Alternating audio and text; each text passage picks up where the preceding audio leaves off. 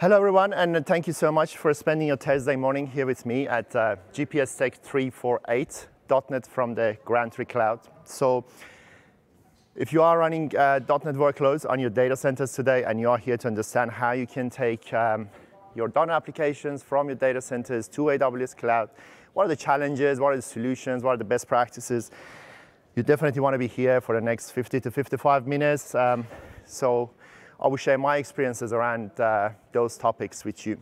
A quick intro about myself. I'm Ethan Ferdowsi, and I'm a senior solution architect specialized in Microsoft workloads. Um, as my title clearly says, it means that I've worked with Microsoft technologies for the past, I would say, 20 years, and um, working on different aspects of technologies from um, .NET applications. I've, I've, been doing cutting codes for almost about um, as long as I remember uh, SQL Server, Active Directory, Microsoft Dynamics CRM, and, and any other tools which is related to Microsoft. And that's why I'm here today.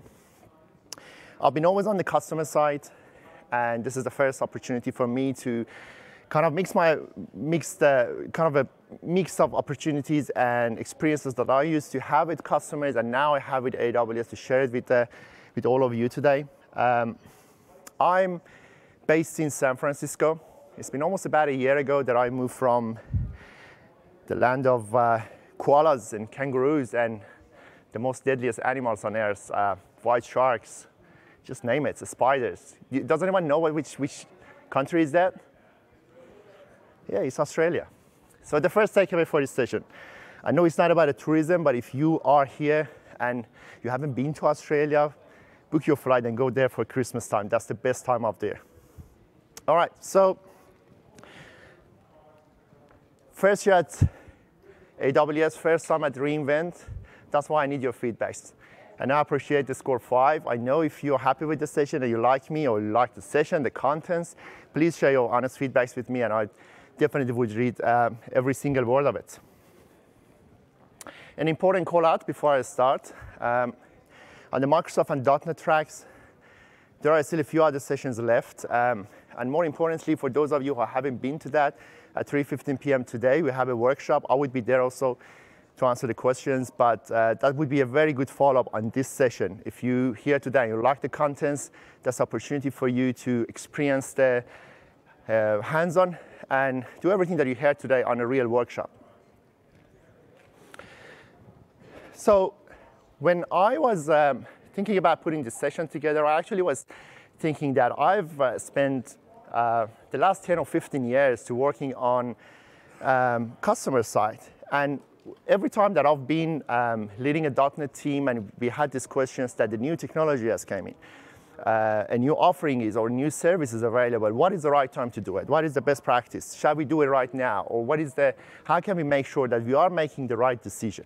And that's why I thought over the past year that I've spent with AWS, um, I work with many customers, and this is exactly the same kind of feedback that we get. It's not about what that technology can do. That's the second step. The first step is that we want to make sure that we're making the right decision.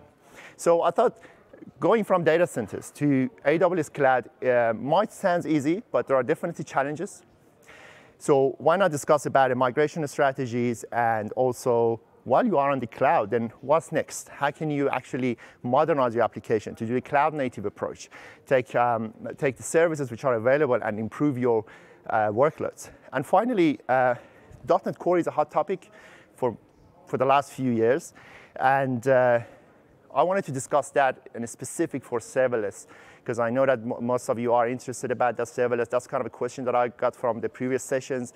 And um, so this is the stuff that we're going to go through. And finally, live demos. I want to take the risk and run the live demos here. Hopefully everything goes well. So let's have a look at the story of .NET. Um, if you are old enough like me, you will remember the time that we used to work with VB6 and ActiveX controls for registering the DLLs. But basically, since then, everything has been changed and revolutionized. Uh, I, I, remember around 2002 that first release of .NET Framework has been announced, and then since then we had different versions that have been improved. We built lots of codes on top of .NET Frameworks, and finally .NET Core has been released. We changed the way that we uh, used to do the coding with .NET Frameworks, and earlier this year, I think it was around August or May, I don't remember exactly, but uh, it's been announced that .NET Framework 4.8 is the latest uh, release of a .NET. And uh, moving forward, .NET, uh, .NET Core and .NET Framework, we joined .NET 5, and then all of the future releases. So why is that important? It's because we know that there are a huge number of workloads running today on .NET frameworks. And we want to think about the future, make sure that we have a future-proof solution, we need to kind of, at some stage, we need to switch to .NET Core. It's not a mandatory thing, but it's, it's the best practice today that we need to do it. Of course, there are benefits about .NET. This session is not about teaching you how you use .NET how, or what is a .NET coding, but basically it's, it's important to understand that .NET Framework applications that we're building today, they are based on, usually there are main four categories, right? You might have created Windows or web service in the past and then um, uh, MVC web applications or most uh, newest kind of uh, newest type of application that we build is microservices. But taking every single uh, bit of the code that we've, uh, we've written for these kind of applications to, to the cloud, some of them are easy, some of them aren't because there are challenges. Not everything is available through the cloud or we have to do kind of refactoring through it. But the biggest challenge is that most of the applications are monolithic, especially if you go to the financial industry and the bankings. Those who haven't been started that kind of transformation, um, they start, they're still using the big fat application uh, it can be a desktop application, it can be a web application. But basically, to take those uh, kind of workloads to AWS Cloud, there are different strategies. I'm sure that you've heard about uh, 6,000 migrations. I don't know how many times, maybe hundreds of times over the, um, during this week. But basically, you know that there are six different strategies in brief, which you can take when you're moving your, your workload to the cloud. Uh, I'm not going to focus on the top three. They are pretty easy and, and straightforward. Uh, just give you an example. If you have something today, let's say you have a logging solution that you there's a bespoke logging solution that you have today, and is um, it's been written, you know, uh, to centralize your log into a, uh, stash or any kind of logging engine, and you are moving to the cloud. Um, we, we know that AWS is offering CloudWatch, so that can be a good replacement for that. So you can easily replace your logging engine with CloudWatch or any other services which are available. But what is more important is those three, rehost, replatform, refactor, which we're gonna uh, dive deep into those three methods because that's where you actually need to start to change your code. So let's have a look. Um, an example to that, if you are doing the rehosting, rehosting basically means lift and shift, which means you are taking the application as is and deploy it to the cloud. It can be running .NET application on IIS. And all you need to do is do a, do a bit of configuration. And using the AWS, of course, it is using the EC2 virtual machines. The replatforming is when you're using the containers. It's kind of uh, modernizing applications. Uh, containers also is a hot topic. I know that using different platforms, ECS, EKS, Fargate, um, they're kind of a container services which are available today. You are not just lift and shift, you are doing a bit of rethinking about what can I do better? What can I change here? And finally is refactoring. Refactoring is where you actually um, start to sometimes knock down your application and start it from scratch, which is likely to happen, something that developers like a lot, and I know the C-level doesn't like because it requires a huge investment on that. But what is important is that either of these um, uh, strategies that we are picking up, and we are deciding on that, we have to keep in mind that the level of effort is going, going to increase. Rehosting is as easy as copy, copy and paste your files into your servers, but refactoring is where you have to start to use different patterns like a strangler pattern, that you take every bit of application, doing uh, uh, on the phased migration, uh, every single bit of your application got to be moved to the cloud. Now, rehosting on virtual machines, there are pros and cons for that. Pros is the fastest way of migration you provision a new instance, which shortly I'm going to show you a demo on that, and then you deploy your application into that. You can log into your EC2 virtual machines, do everything that you're doing today on data centers by setting up your IIS configurations and any database connection strings that you have.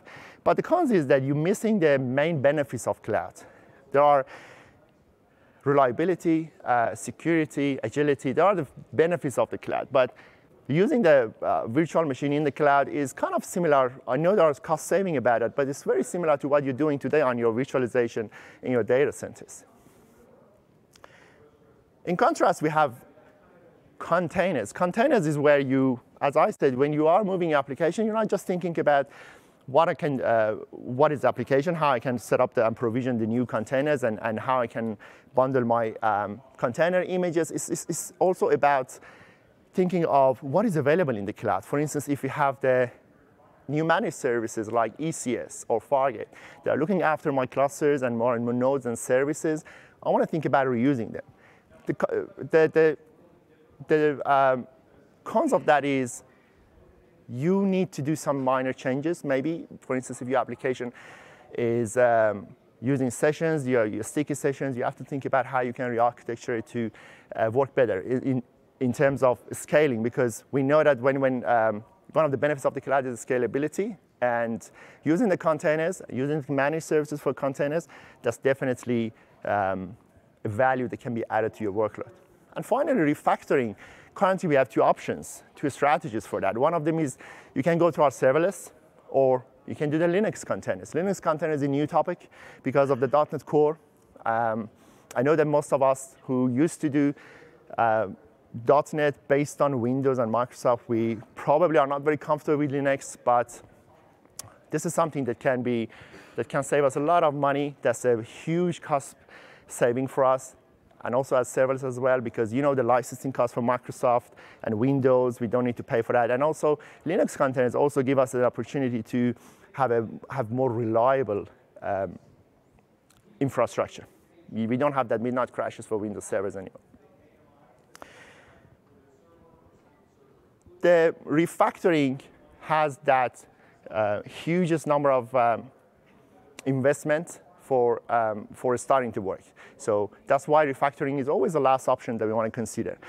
But when it comes to the .NET applications, the question is, which one is the best way? And I'm sure that that's what you expect to hear from me, that I say option one or two or three. But honestly, there is uh, no clear answer to that. We, the answer is it depends. If you are running a legacy application, it's not a mission critical application, you might want to just use the virtual machine. That's enough for you. If you are using something that needs to be scaled, that's where you need to go for serverless on containers because that they can handle the workload for you. So any of those solutions require the proper um, analysis at the beginning. That's why we usually recommend to go and start to list your applications that's mission critical, it's not high critical, it's, it's uh, low priority, then, and start with them. And based on the needs, we can pick the different services which are available. So I'm going to pause it here for now and quickly show a demo on um, virtual machines and rehosting, which can be done by Elastic Beanstalk.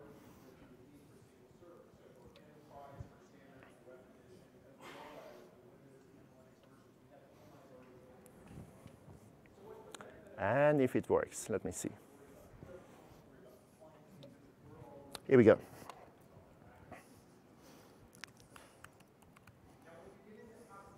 All right, as some of you might be uh, familiar with uh, AWS Elastic Beanstalk, that's a service which uh, you can easily tell, tell the Elastic Beanstalk that this is the kind of application that I have, this is the environment that I need, and it goes and take care of everything for the infrastructure for you. It is a very simple way to uh, provision the infrastructure and EC2 instance that you require, and that's the easiest way for migrate applications. If you want to get a taste of the cloud and see how things work on the cloud, that's definitely the way that I recommend you to do. So I'm going to give you a quick um, rundown of uh, Elastic Beanstalk environment and what, a few configuration, and then show you a, a, small demo on how you can deploy application to that. So going to Elastic Beanstalk,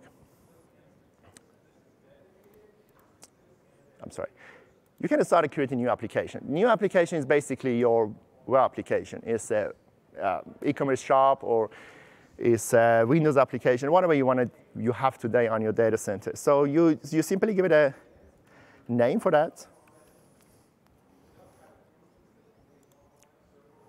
And then your application is created. Now, what you can do here, which is to me is very exciting, is that you can create different environments. Environments are like your dev or QA environment or your production. So You can choose from if it's a batch service which is running over the nights, you want to create a working environment, you can create a web server. Web server is what we need because we need to run IIS for .NET applications. And then here you specify the URL for that, which you want to go and access it. Um, so your application would be available at demo app dev.re.us 2 depends on the region that you've, ch you've chosen. And then for the platforms, you can choose any of these languages. Uh, Java, .NET, Python, all of them are supported. So I'm going to choose .NET, and then to start, you can deploy a sample application to that. That goes and create a basic default .NET application, .NET Framework application. And, or you can choose to upload your code. You, all you need to do is to do the .NET build and .NET publish and get that bundle and deploy it to the environment. There are other options which are available here. I'm not going to run all of them because, because of the time, but basically a cool feature is that you can ask to have a single instance.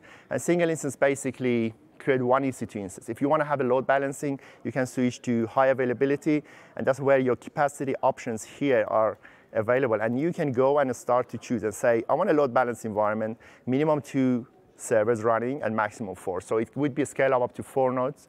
And if the traffic is low, it would be scaled down to two. And then other options that you can configure depends on which availability zone I want to put in, or it would be automatic placing and different kind of triggers for scaling. Depends on the CPU or network or disk write or read. These are kind of options which are available. So I've already created an application here, as you can see, and I've defined two environments for that. Uh, uh, it's a dev and also UAT. So quickly go to the EC2 and you see how the instances look like. So we have two instances now here because I've, I've created a single instance. The dev is a EC2 virtual machines and UATs as well, right? So let's go to Visual Studio. I'm gonna go and create a new project and it would be .NET Framework application. I call it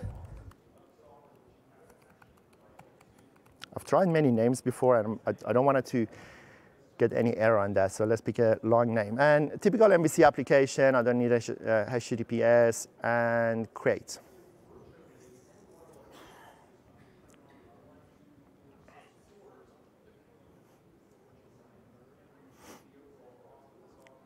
So when the project is created and you want to publish it to the AWS, uh, while it's loading, uh, you, you, might, you might have seen that uh, AWS Toolkit is the window that is, uh, when you're installing the AWS Toolkit for Visual Studio, that gives you that AWS Explorer that you can use any of the credentials uh, for your for, for the, from the console, you can create an IAM user and then give the credentials to here. And you can go and browse the majority of the services that you need for your development. As an example, you can see here that um, the Elastic Beanstalk that I've already created, you can see that there is a demo, dev, and UAT. So kind of basic functionalities that you need are also available here. So my application is created, and I'm just, I want to just simply just publish it to AWS Elastic Beanstalk. This option is available when you install AWS Toolkit.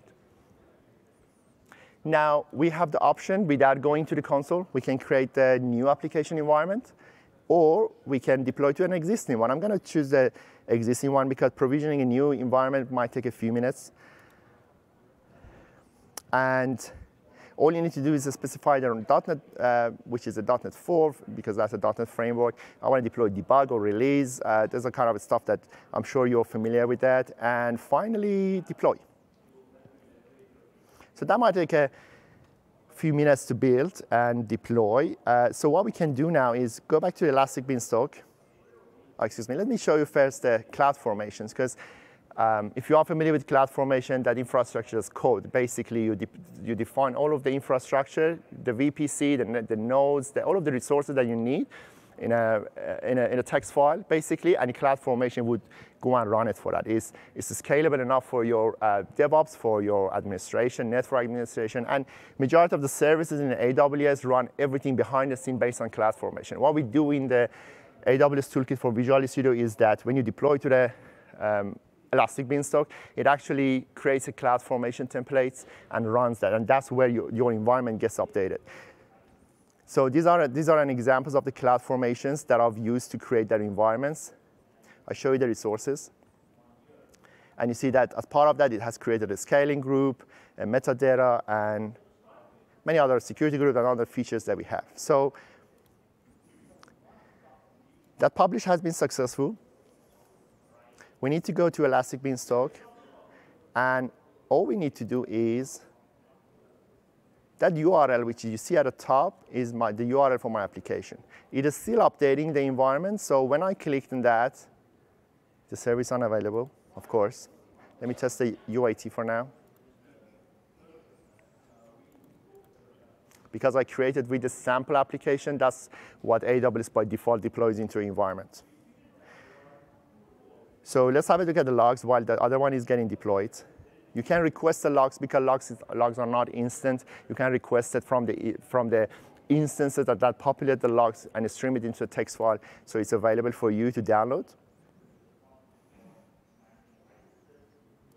And of course, you see every, all of the logs that you have seen it on the normal Windows server. That's, that's kind of an instance that have been provisioned. The software protection, protection service has been installed. And I want to see if the, that deployment, yeah, it's been successful. You see the health, and now my application is there. As simple as that.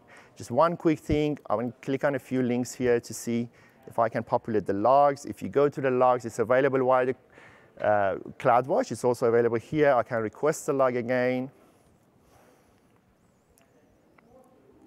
And yeah, the logs are there, right? So we have the monitoring, we have the health, it shows how many CPU utilization you had. So that's a very brief demo about, as you can see, how simple you can take your application and push it to the cloud. It's, if you have, the, apart from uh, provisioning your infrastructure, it might take, I would say, five minutes for you to, to push the application. You, do, you don't need to do anything. All you need to do is that publish your application from the AWS toolkit. So let's get back to our presentation. All right, now,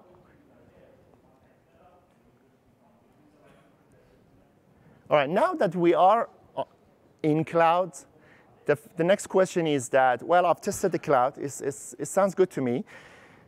How can I modernize my application? How I can leverage the new, the, the benefits of the cloud? How I can write cloud native codes?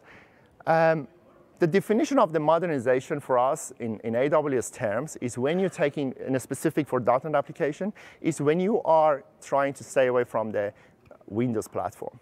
And that, can, that is possible by using the serverless because AWS Lambda serverless, which we have, is based on the Linux containers and also the Linux containers as well, which you can use the Fargate or ECS. Those are kind of the services that you have.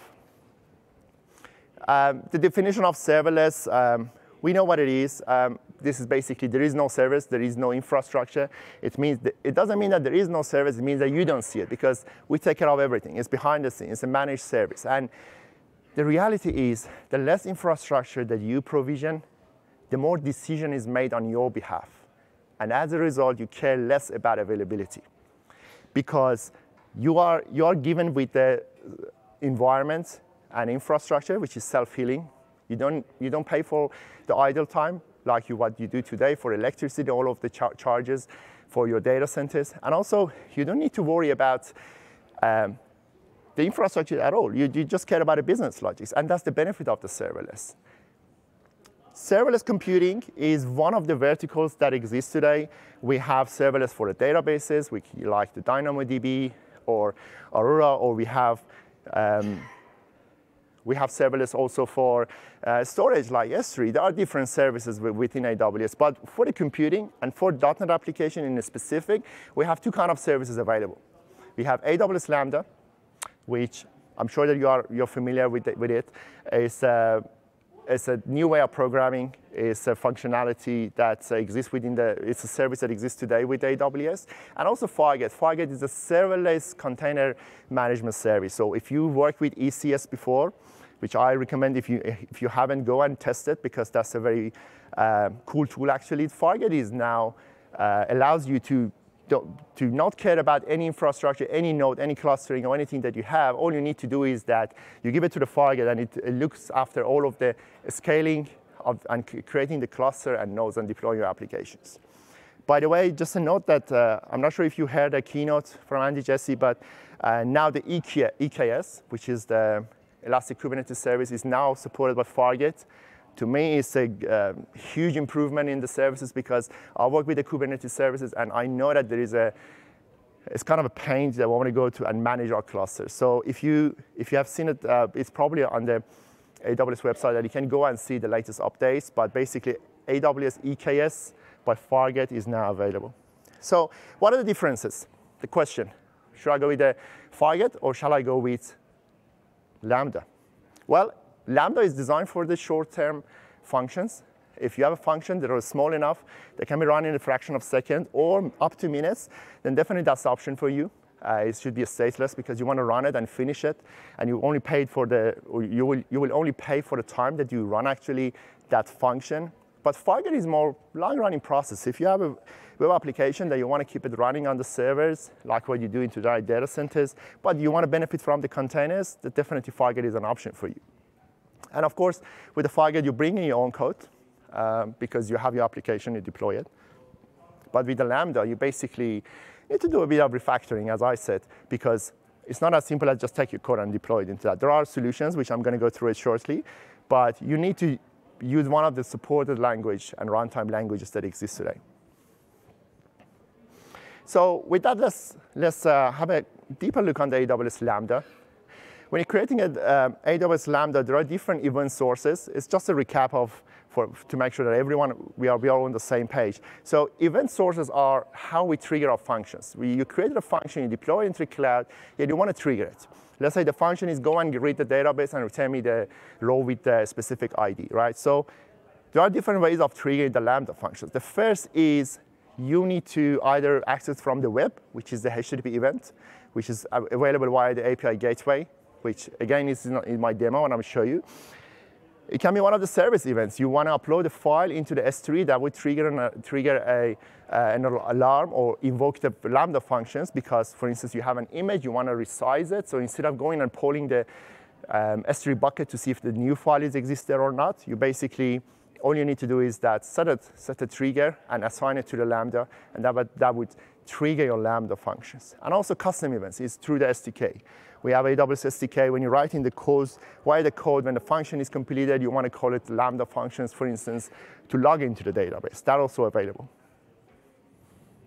From the configuration perspective, there are two main things that you need to remember. First thing is that the memory, everything on the Lambda is based on the memory and indirectly the CPU because if your application lots of, uh, requires lots of memory to be able to store, let's say, an array or, or, the set of records in a, in a memory to be able to process it, that's where you want to specify the memory for it. There is a default for that, but you can increase it up to a certain limit. But you need to make sure that you, you configure your, your uh, Lambda functions in, into the right size because that's where it will impact your billing. And the timeouts, as I said, Lambda is designed for the short running functions. It's not designed for running 20 minutes uh, report generation. And if you are doing it and you, want you, you have an application that needs to be done in such a way, then that's where you need to start to rethinking about, is the Lambda the right option for me or not? So again, I want to I wanna repeat that because it's kind of a question that I've got um, every time with the new customers. And it's that almost everything is possible to be done via Lambda, but is the Lambda right fit for my uh, problem or not? That's the question. That's when we need to analyze and, and see number of factors, memory, CPU, uh, the, the, time that the function is running. And if it's taking too long, we might need to break it down into multiple functions using the async methods and to be able to just um, break it down into smaller pieces that take less time, lower the cost, and actually perform the functionality that we need. And finally, about the billing, is uh, the way that you will be char charged for the Lambda is basically per 100 millisecond per function execution time, which it would be round up to the 100 milliseconds. If your function takes, for instance, 250 milliseconds, it would be charged for 300 milliseconds. So that's how the billing is done. That's the, that's the main overview about the configuration on Lambda. And then on .NET, right? So as I said, modernization is about using either serverless or Fargate. And again, I said that it is uh, based on Linux containers and Linux um, OS. And we know that it's not possible by doing by staying on the .NET framework. That's why the, at the beginning I show you that .NET framework is kind of getting to the end of it, and that's why we, at some stage we need to move to .NET Core because .NET Core give, give us that functionality and that uh, option to be able to open uh, open our environment to the new world because then we can improve uh, our code to use the Linux, Linux environment or using the Lambda or Fargate. So .NET Core is the first step to modernization. And that's, again, we want it or not, at some stage we have to do it. So when we writing a .NET Core Lambda functions, it is as simple as we go and create a .NET application, .NET Core project, and we're targeting .NET Core app. So .NET Core 3 and 3.1, if I'm, if I'm not wrong, it has been announced that it's been now will be supported. .NET 3.1 has been released, so now it will be supported. Um, I'm not sure about the exact time, but probably after a couple of months it will be available for us. So we can target one of the .NET Core runtimes. And then we, all we need to do is that um, create an application, publish it using the .NET publish command, and the, the output bundle uh, files, we zip it and upload it to the uh, .NET Core Lambda. But what we recommend is that using uh, an existing AWS tool for that, either AWS Toolkit for Visual Studio or the AWS Lambda tools, which is an extension to .NET CLI. The reason for that is we constantly are, are improving our Lambda engine. And if you're using the .NET, um, if you're using the .NET Publish, basically what it does is that it, it, includes all of the dependencies. But if you use one of these tools that is managed by AWS, we're constantly removing the common libraries from the, your bundle and add it to the backend to the uh, engine. That means that your bundle would be, would be smaller and it would be loaded faster, and you wouldn't have that kind of cold uh, cold start issues that some of you might have faced with Lambda. So we recommend to use any of those tools. Um, the structure of the Lambda function entry, um, each function in Lambda, there is an entry for that, and that's where the engine identifies that each, which function needs to be called, and that's called uh, function handler uh, for .NET in a specific, and it's an async task. And in a assembly file, uh, excuse me, in the serverless template file, you would, you would specify the full type name of that function entry. Uh, for instance, uh, for this example is AWS Lambda 4 is a project name. I know it's not a good name, but it was a testing project. And then your function, and then your function handler, the full type name. And that's how we would go and find your function in the assembly and invoke it. Now, one of the cool features which um, has been released it's not new, but it's available, is that most of us have created ASP.NET Core web applications, either using the Razor pages, or we have created like normal HTML pages, or even front-end scripting like Angular, right? Um, there is a ASP.NET Core application behind the scene, which has lots of controllers and pages. If we want to push that to the Lambda, it may not sound right to you because you say, oh, this is a web application. Why, what's the point of pushing the whole application into one single Lambda? The fact is that we have, we have had this kind of request from the customers that we learned that migrating the whole application to the Lambda requires a bit of refactoring and re-architecturing. So that's the easy way for you to migrate your existing .NET applications, .NET Core applications, into Lambda. My demo would cover that, and I'll show you a few examples of that later. But let's, let's have a look at the structure of that. So in a normal world, when you're running your ASP.NET Core web application, basically your application is faced with um, one of the, your um, web servers like IIS or Nginx, and then the Crystal, which is the internal um, web server by, by .NET Core that would handle the request and forward it to the ASP.NET Core uh, hosting. So Crystal is actually, excuse me, Kestrel is actually um, marshalize this request between and back and forth between your core hosting and uh, IIS. But when it goes to the Lambda and you push your application to that, is API gateway would replace the IIS, and the Lambda is looking after all of these back and forth requests between these two. That's how we, managed the ASP.NET Core web application on Lambda. This is kind of a behind the scene, what is happening here. Now, creating an ASP.NET application on Lambda it's as easy as you include one of these, uh, you include this NuGet package in your application. It's a ASP.NET Core server. And by doing that, it actually starts to create and add some files to your applications. And uh, again, it's, it's easy to migrate. And I would recommend that as an interim step if you want to migrate to the cloud, you have a big application and you don't know how, where to start and you want to test it. That's a, that's a very good way to start it.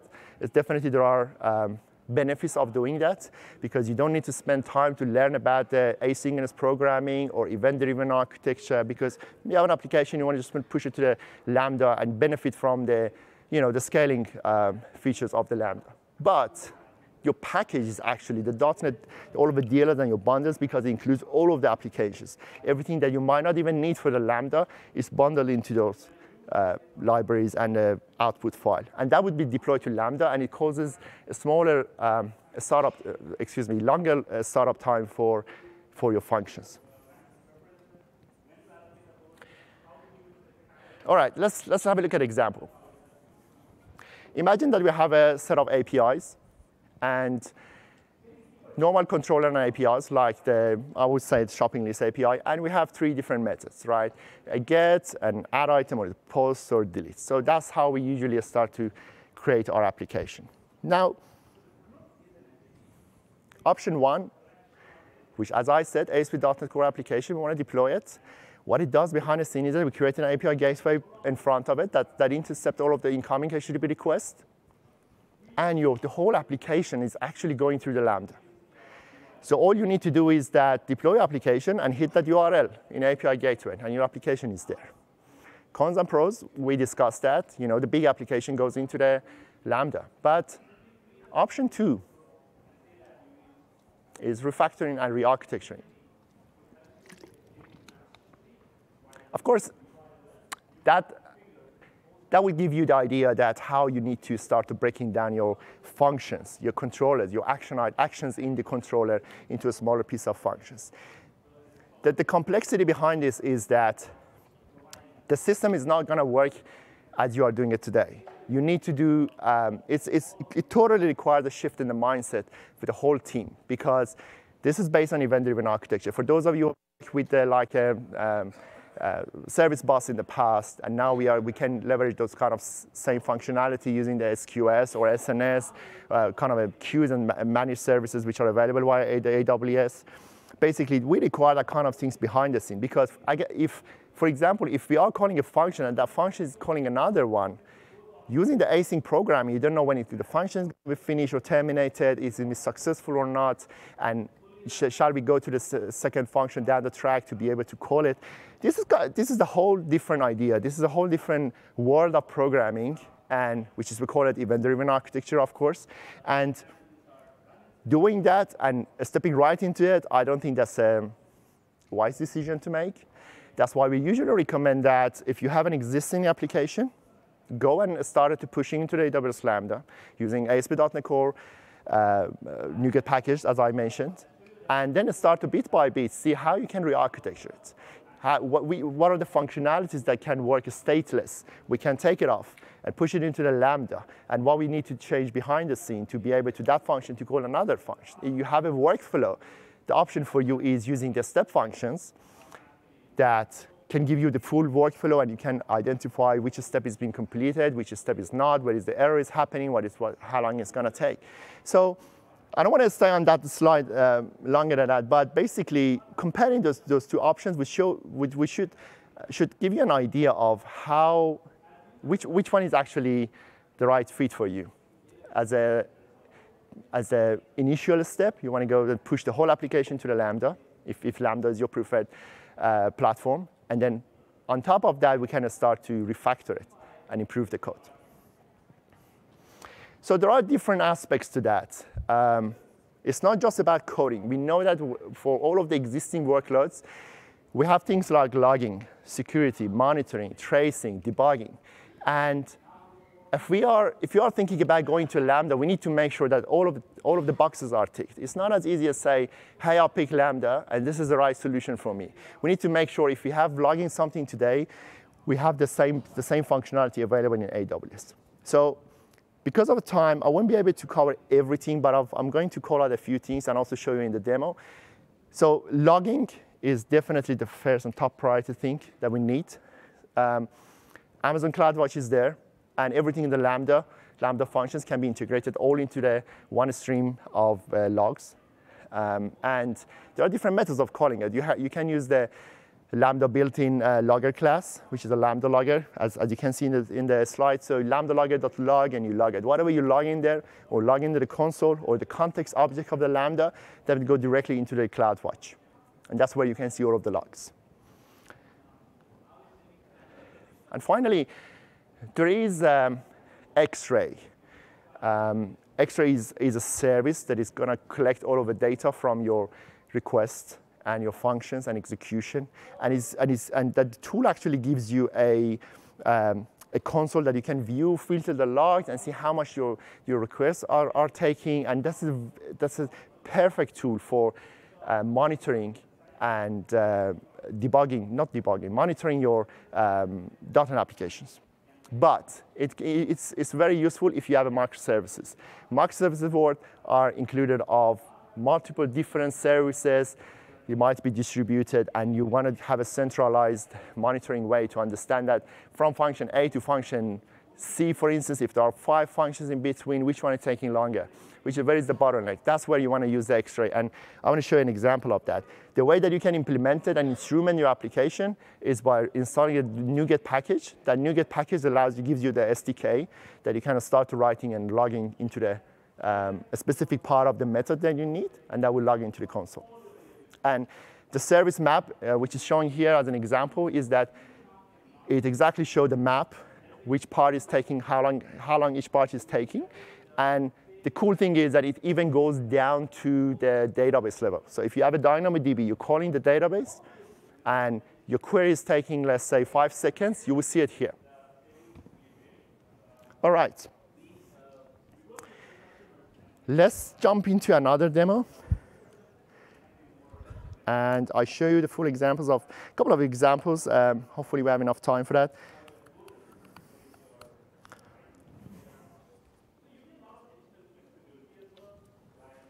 here we are.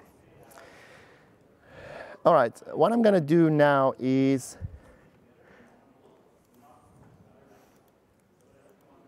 I'm gonna go and create a new project. And I'm going to pick the ASP.NET. If you, if you look at it, uh, templates and blueprints which are available, if you type serverless, you see that there are multiple um, options are available that you can start with, as, at least for your testing. And um, ASP.NET serverless application, .NET Core, either with test or not, that's, the, that's without the test. Um, and you can start it with, with, the, with the test that you want. So .NET Core, I'm going to create one. And I will call it Lambda ASP.NET Core App. That's a silly name, isn't it? All right, so there are different blueprints are available. What I'm going to pick now is ASP.NET Core Web App, which is going to create the simple ASP.NET application, .NET Core application with the Razor pages. And you know, it has default um, pages, uh, Razor pages in that, and there are a few files in it, which I want to highlight it now. So first thing first, uh, we have a serverless template. That's what the NuGet package that I mentioned would add it into that. Um, the engine would add that files by default. And this serverless template, there is a resources section. Can everyone see the screen? Do you want me to zoom in a little bit? Yeah, that might be better. So it's without the Core function is where your function is defined. The handler is full function name, function handler async. That's the entry point for, for your Lambda. And then you have the resources here. And as you can see, there is a slash proxy. What it does is that because you think about that, that slide that I show you, everything goes into API gateway, and that will redirect it to the core Lambda, which is going to process that incoming request and send it to the correct routing. That proxy is actually just, just a proxy. It doesn't process anything. It takes your request, your URL, your query string parameters, and everything else with that, and just forward it to the ASP.NET Core hosting to be able to process it. And of course, the output, which is your environment, which your uh, application is available. Now, that Lambda entry point is the file that should exist, and that basically has that function handler async. If you don't see it here, because I don't want to override it, that's been overridden and managed by the API, uh, by the ASP.NET Core package and it's, it's in the base class, so you don't see it here. And one important file is local entry point. Um, this is not part of the demo, but keep in mind that Lambda logging, because everything is running on the infrastructure, uh, running serverless, logging is kind of a bit of challenge. There are different solutions for that, but if you want to do the local uh, logging on your Lambda functions, that's where you need to start to put code into that, add codes into that section. That's where you want to, you will be able to using the SAM or any other libraries, debug your application. Now, um, let's quickly deploy that. So publish to AWS Lambda, there is a new option now available.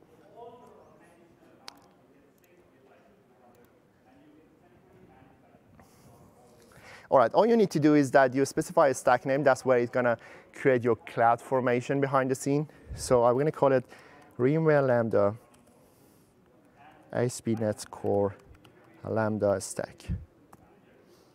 And there is a S3 bucket. The S3 bucket which is needed here is basically the zip file would be uploaded to that. A Lambda engine will read the code from there and deploy it to your uh, Lambda environment. So I'm gonna use one of the existing Lambda existing S3 buckets. And that's it, which region you want to deploy that, what configuration, what is the .NET uh, framework that I'm using, .NET Core actually, .NET Core version. And that's it, it's going to deploy it. it. For the first time, it might take a few more minutes to do it. But once it's deployed, the next uh, deployment would be faster and easier because your infrastructure is ready and it's just update, update the code in that. So let's go to console. And I'm going to close these windows. All right, so first of all, cloud formation, just to give you an idea that how it is. So you see that reinvent ASP.NET Core Lambda stack, creating progress. That's where the AWS Toolkit has been uh, initialized. The resources that it's creating is a function role and all of the security um, and, and resources that it requires to be run. We have to wait for that to be completed. But while we can go to API gateway.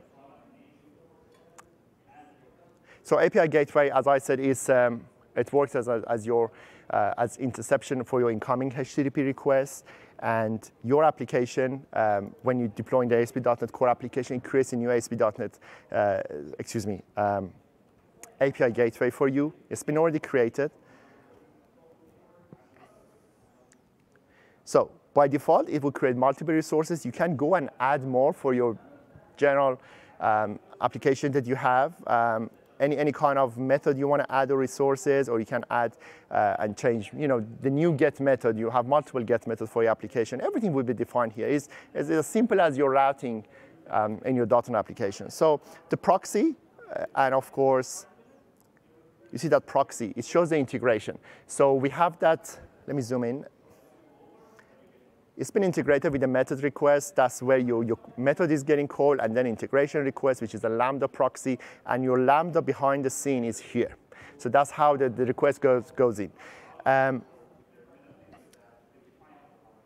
so API gateway, by the, by the way, is, is where you can put all of the authentication in front of it. It's like any other um, uh, API management tool. So you, you put, all, if you have, a, for instance, auth token or um, any kind of Windows authentication, excuse me, not the Windows authentication, any kind of authentication that you have, you put it, you can add it to the API gateway. That's where you would throttle your uh, request. So let's quickly have a look at the Lambda function that has been created. On the Lambda on the side, you see application, and that's the two ways. Go directly to the console and start to create your uh, Lambda functions. That's one way. And if you go through the Visual Studio, that basically an AWS toolkit would create a .NET uh, Lambda application. And that's everything is bundled to one application. It's just the way that we structure it. So the application is here, and that application contains multiple functions. And there is only one function, ASP.NET Core.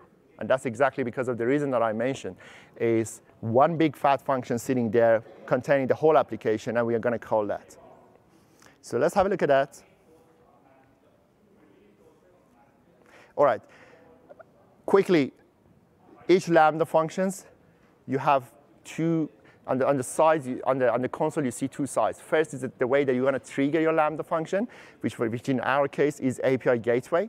And the other side is the destination. If your Lambda function has been completed, what I want to do next? What is the next thing? I want to call and write something to the S3 bucket. I want to send an email or uh, raise a uh, CloudWatch alarm or anything else. There's, there are different events that can be integrated into that.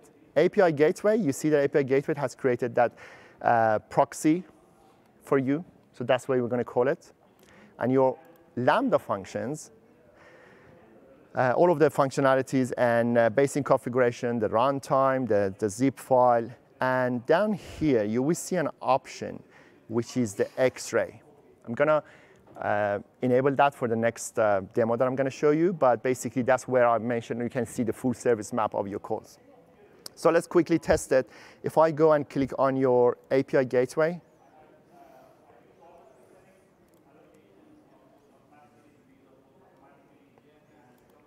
excuse me. So I should remove that proxy from here. That's it. Your .NET application is up and running. And if I click on multiple pages, that's exactly the same as your application running on IIS. And what you can do is now get back to monitoring page, and you see the CloudWatch metrics. Everything is available via CloudWatch, but that's the integrated way of looking at the logs. So it might take a few uh, seconds, depends on the sampling. Um, so you see there are three invocations because a call application, click it twice. And each of these tabs can be um, explored more and you can dive deep into that. One cool thing is if you look at the console, CloudWatch logs inside. It hasn't been populated yet. Oh, we need to be patient for that. All right, let's have a look at that first until that's ready. So this is where you can see the errors. That's how your function, how long it's been taken. For instance, that, that the average has been 294 milliseconds and the minimum has been nine seconds. So just as a, as a side note, you've seen that kind of cold start, which many, I've, I've heard of the call it an issue, but I don't see it as an issue. Basically, any function in Lambda that needs to be run initially for the first time that a function is triggered, the engine needs to be set up. So the .NET engine for that function needs to be run. So it, it creates the environment for you and your function is exists there. So for the upcoming request, that would trigger that function. But basically, it's like, if you have a million calls, it's, it's like the first in a million. So it's not noticeable. It's, uh, if you're testing your application, you might take, see that after deployment, it takes five seconds, and then after that is two-digit second for calling of Lambda functions. I just want to call out because the call to start seems to be, uh, for some of us, is a challenge when using Lambda, but to me, it's not an issue. It's kind of a, a reality that we are facing for any other programming language. All right, so let's quickly have a look. These uh, logs here give you a very insightful numbers. First of all, as you see here, the duration in milliseconds, the billed duration in milliseconds, that's where I said that it's going to be round up. So uh, it's a 100 millisecond block. And I've, I've, already brought up the pricing page for Lambda. You can see here the first million uh, requests per month is free. That's amazing if you want to test in your application. So million calls, no cost at all or is 100 gigabytes per second. And that's where your memory impacts your functions. So if you are running a function that is taking, um, let's say you have one request that is taking uh, one second, you're having two requests or taking half a second, They're kind of same in terms of the billing. And then all of the charges, uh, as you see, there's a very small uh, number. It would be uh, numbered by the number of calls. So uh, for every gigabyte second. Let's get back to that um, console and I want to quickly show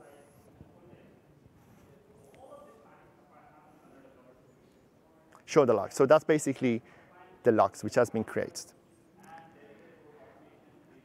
All right, I've only got uh, six minutes left. I want to quickly uh, just show you another demo, which I'm sure I'm going to create another serverless application.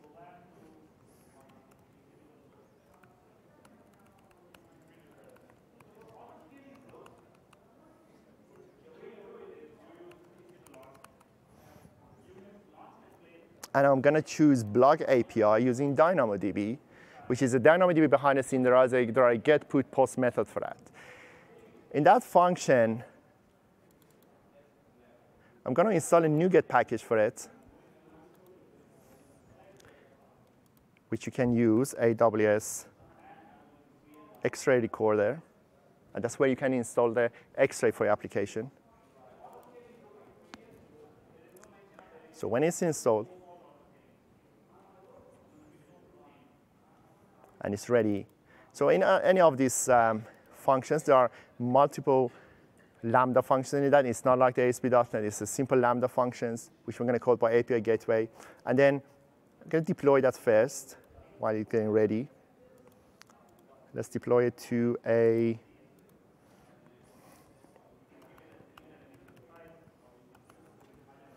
Lambda and put it into the into there. So the application will be created. And while it's being deployed, I'm, I'm going to add, yeah, I'm going to add the X-ray into that code. So let's go to the uh, get blogs. So you see that function, context logger, it goes, it logs to the uh, CloudWatch log. So, sorry.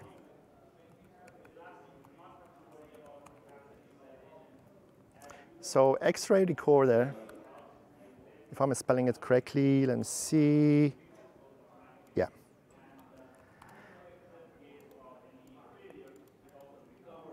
All right, so that's part of your NuGet package.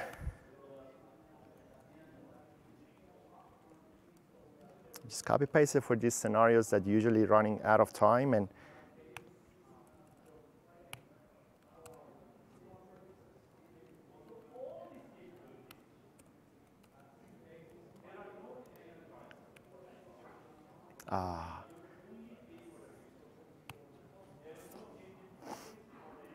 All right, that's where you shouldn't take the risk to run the live demo because it's kind of when it's not enough time for it.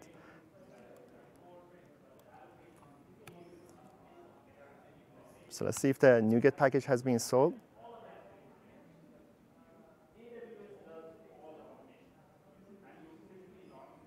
So let's go back to, here you go. And I'm gonna add, there is a singleton instance for that. I'm gonna add begin subsegment and I want to, I want to tell you that what does that mean for us? And do the same.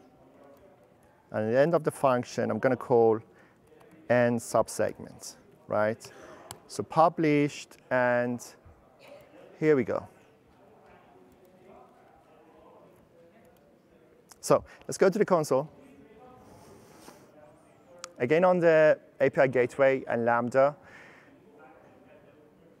So you see that all of these, if I go to the application, blog Lambda stack have been created with all of the functions and individual Lambda functions. So I'm going to go to the get blogs and enable the X-ray here. So when you enable the X-ray, those instruments that you've put into your code will integrate with that, and you can see the logs into that. Quickly test it. So to test the, to test the get blogs, you can test it via the console. I'm gonna uh, create a test method, get blogs, because it doesn't need anything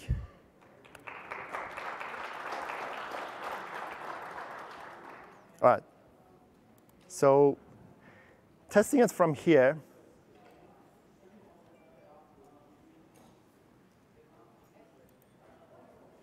the testing succeeded, 200. So of course you can, it can return any 400, 500 errors, depends on what you're doing. And I do another test. And on the monitoring section, you see the CloudWatch logs, that function has been invoked, how many times. And the cool thing is on the AWS X-Ray, if I refresh the log, you see that, right? So this is one of the requests that I want to show you. That's the, that's the benefit of and the service map of your X-Ray. So you can see your request all along the way to the function and that goes to the end and then each function, how long it's going to take. That's the best way that you can measure the performance on each individual sections. You saw that the begin subsegment and end subsegment, you can add as much as you want into that, add annotation, add metadata to that, and that's where you can add notes. You see, this function has taken that long, that function, or the part that goes to the database is taking longer than the other one. And these um, get blog subsegment is what I added. So you can see in, in overall my function for the first time, it took seven seconds, and four of 4.6 seconds of that has been basically taken by that section of code. So with that, let's, let's get back to the slides, and I do my final things on that. I know that we are running out of time.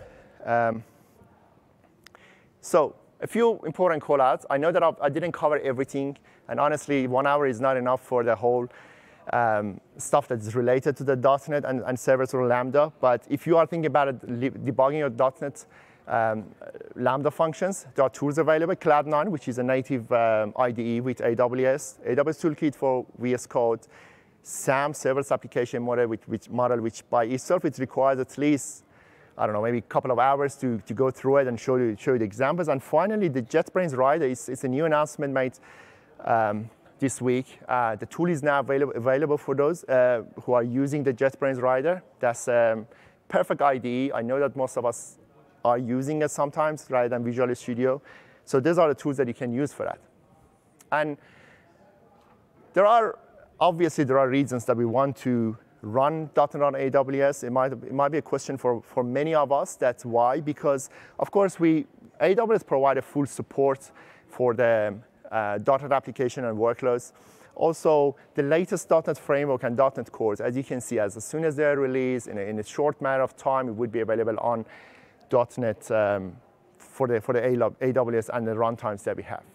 So with that, I'd like to thank you, everyone. Um, for, some, for those of you who are part of the AWS partners, please um, check the APN Navigate, and that's the way that you can start to uh, work through the competency programs. I'm, I'm a PSA, so I'm partner solution architect. I mainly work with the partners. Those of you who are partners, I'm more than happy to get connected and answer your questions. And thank you so much.